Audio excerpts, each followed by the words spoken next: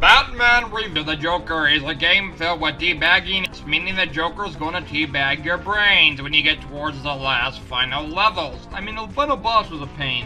Had only 500 score because it drops down to zero. And that means you're dead. What a pain in my lower key asshole. But anyways, level was somewhat creative, but I recognize the NES version was simply better when I looked it up on YouTube. Weird, eh?